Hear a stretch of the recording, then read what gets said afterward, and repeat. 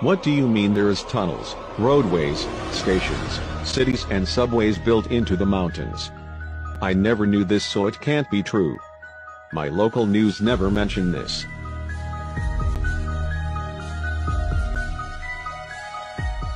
This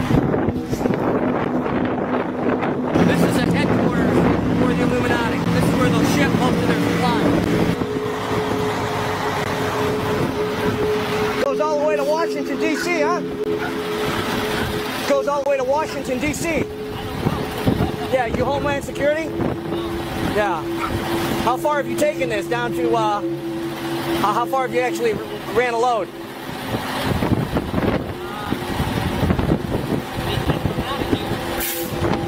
Hundred miles? Up to Maine? No shit. How many miles do you think that is?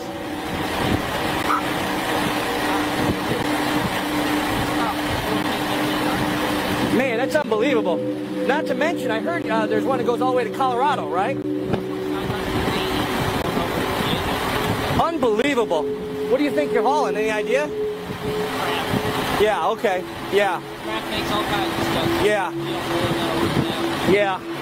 I know there's been a lot of military stuff being hauled around lately, that's for sure, huh? Yeah, I mean, we deliver to them. Gotcha, gotcha. Yeah, yeah, yeah.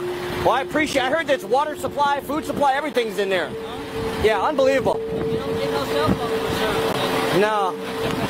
Peace, brother.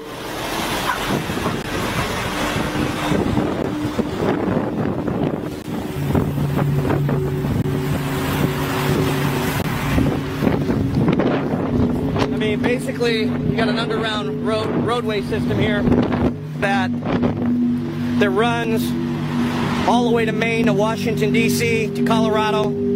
It's fully stocked. Uh, it runs completely underground. Um, and you can see they've been hauling tons of military equipment. Um,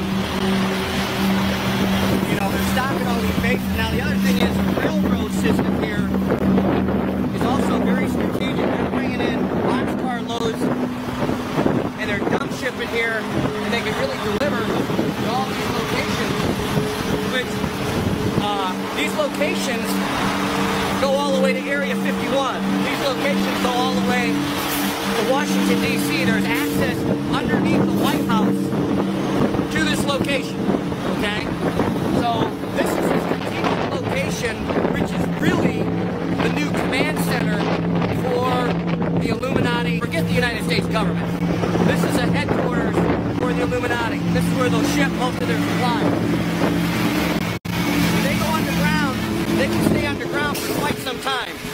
And this is stocked with food, water, everything they need. It's an underground city. So uh, this is the north entrance, and uh, we're going to go see if we can do some more digging.